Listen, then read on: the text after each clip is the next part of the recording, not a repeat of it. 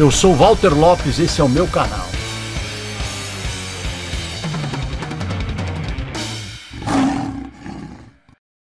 Eu queria que você abrisse a tua Bíblia aí em Mateus, capítulo 6. Mateus 6, versículo 21.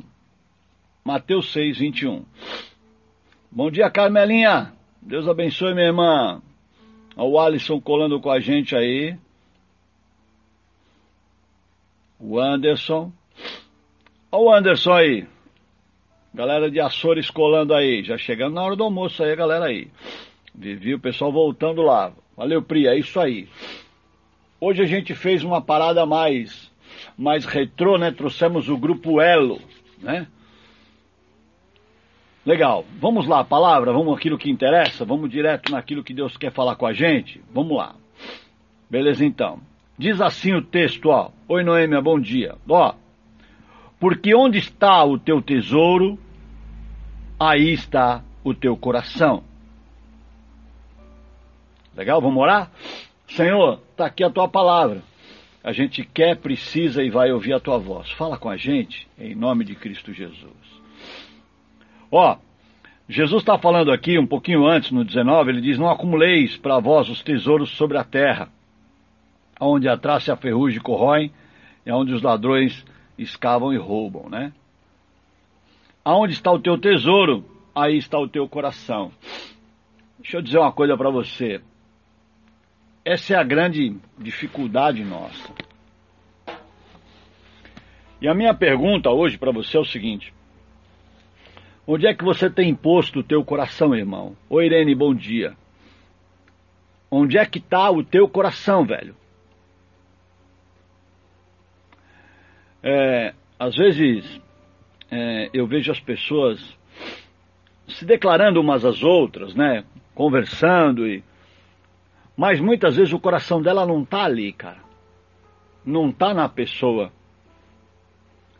Não tá uh, uh, naquele momento, pô, Valtoma, o que você quer dizer? Eu quero dizer que muitas vezes você se apega às pessoas por aquilo que ela pode fazer, ou por aquilo que ela pode dar, ou por aquilo que ela pode trazer em volta. É feio?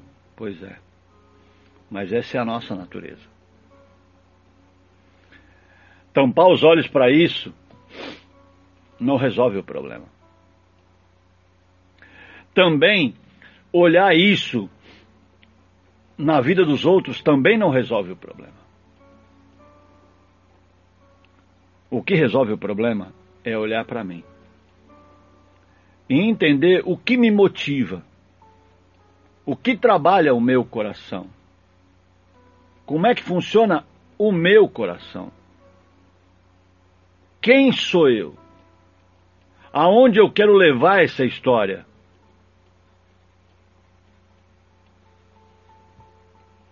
Por que, que eu faço o que eu faço? Porque, vamos lá, até mesmo a fé. Por que, que eu vou à igreja? Literalmente, porque o meu coração está em Jesus, na Sua vontade, na Sua palavra, e eu quero morrer cada dia para que Ele viva em mim? Ou porque eu estou interessado nas Suas bênçãos? Ou porque Ele tem cura para me dar? Ou porque Deus é bom e Ele pode me trazer prosperidade? É louco isso. Fala, Levi. Que bom te ver aqui, irmão. É... Me perdoem, mas eu estou aqui para dizer aquilo que tem que ser dito, não aquilo que você quer ouvir. Mas muitos se envolvem com o Evangelho muito mais buscando benefícios do que, na verdade, aquilo que o Evangelho representa. Uma vida com Jesus é uma vida de, de abrir mão de quem eu sou para viver quem Ele é. Não, havi, não existe evangelho, não existe salvação, não existe vida com Deus sem morte. E essa morte não é do outro, é morte minha. É a minha morte. Eu preciso morrer. E o que eu mais vejo nesse, nesse né, pseudo-evangelho sendo colocado aí é, é, é uma condição totalmente oposta a isso. É uma conquista exacerba, exacerbada, né? Eu posso, eu quero, eu faço, eu determino. Eu falei isso na igreja, talvez alguns irmãos não tenham gostado. Eu, infelizmente, eu não estou ali para falar aquilo que eles gostam.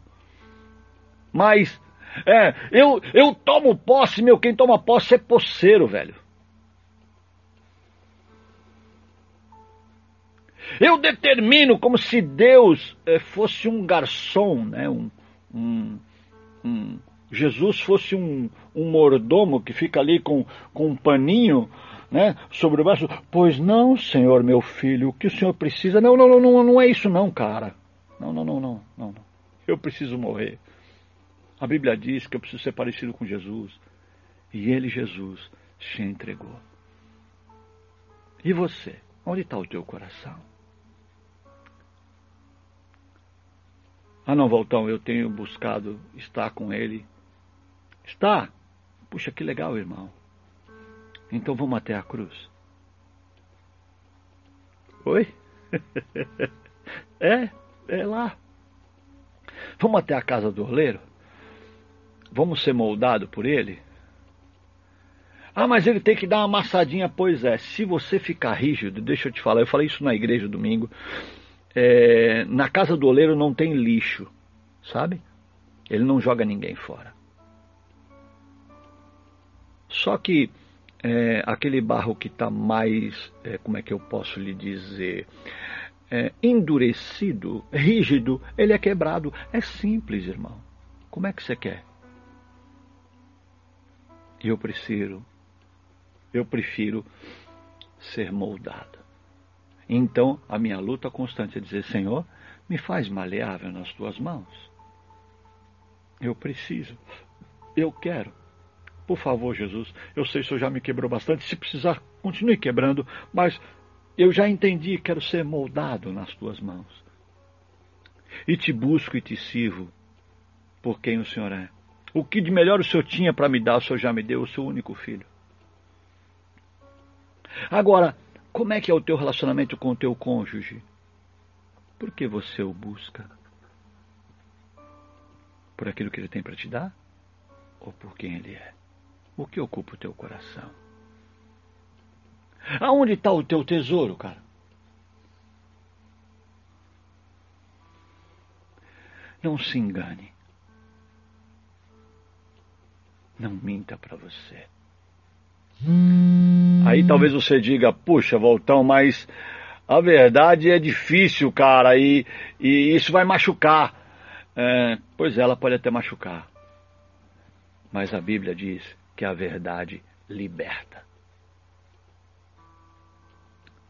Seja liberto, irmão, pela verdade.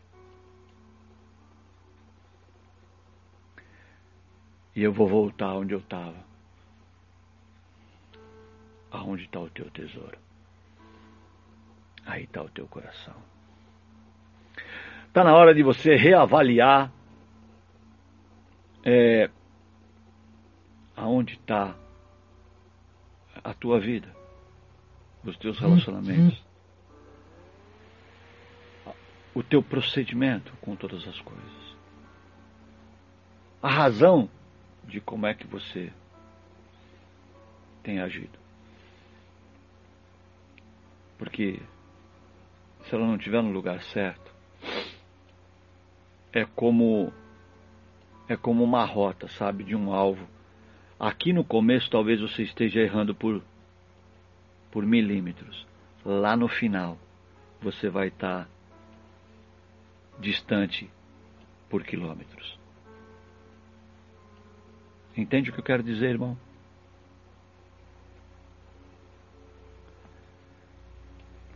É, eu vou de novo dizer. a gente tem o Espírito Santo, ele vai falando aos nossos corações. Você talvez está aí falando, puxa, aquele irmão lá que eu conheço podia estar tá ouvindo essa palavra. Não, é, Deus trouxe você aqui, é para você. Aonde está o teu coração? E Deus não está falando isso para te dar um, um murrão no nariz e. Não, não, não. Deus, quando fala com a gente, o coração dele está em nós. Ele não está chamando para perto. Filho, vem cá. Põe o teu coração em mim. Eu te quero perto. Por muitas vezes eu busquei os meus próprios desejos. O meu coração é enganoso, o teu coração é enganoso. Então, assim, entrega o teu coração ao Pai. Põe os teus tesouros nele. Você vai ver os resultados desta história. O que ele tem, pode e vai fazer. Deixa ele fazer. Talvez, é, talvez não, com certeza é um pouco, é um pouco não, é bastante desconfortável. Mas é tão bom, irmão. É tão bom viver na vontade dele. O resultado é, é maravilhoso. Viver segundo a vontade dele é algo é algo insondável. Ele nos leva muito além aquilo que os olhos não viram, aquilo que os ouvidos não ouviram. Mas o preço a ser pago é ter o coração nele. Aí você fala, puxa, mas eu não consigo ver. Pois é, isso se chama fé. Entrega o teu caminho ao Senhor, confia nele. E o mais? É o mais, é o mais. E o mais ele faz. Se liga aí.